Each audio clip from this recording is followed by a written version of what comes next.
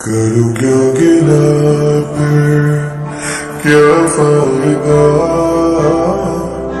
जो होना था